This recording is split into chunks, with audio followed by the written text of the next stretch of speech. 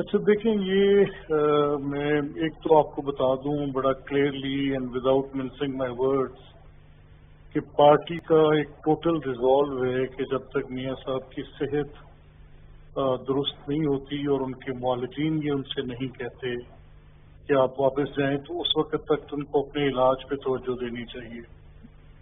दूसरी बात जो भी तारिक साहब कह रहे हैं जैसे आपने कहा कि को पार्टी में दराड़े हैं तो मैं यकसर इस तासर को भी रद्द करता हूँ कि वो कुछ लोग जो हमारे पाँच या छह या सात रोज सात लोग गए ये एक बड़ी मुसलसल कोशिश गवर्नमेंट की एट ऑल लेवल्स ये एक, एक, एक पूरी तीन साल से जो लगी हुई एक कोशिश थी उसके नतीजे में वो हमारे पाँच छह लोगों को जिनकी अपनी को पर्सनल लोकल रीजंस भी थी को मकामी सतह की भी थी और कुछ को कुछ के केसेस का जिनको मैं जाती तौर पे जानता हूँ कि जिनके केसेस की वजह से उनको एक्सप्लाइट किया गया अच्छा, और इस तरह अच्छा। किया गया। लेकिन एनीवेज लिविंग दैट असाइड कोई पार्टी के अंदर दरार नहीं पड़ेगी।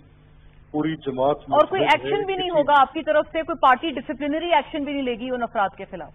नहीं देखिए वो डिसिप्लिनरी एक्शन जो है पार्टी ने क्योंकि वो बड़े समझदार होशियार और पुराने सियासी तौर पे काफ़ी जहांदीदा लोग हैं। वो गुजदार साहब के पास गए हैं रेंडीवू कर रहे हैं फ्लर्ट कर रहे हैं उनके साथ। उनसे अच्छा। को फंड्स वंड्स भी ले हैं।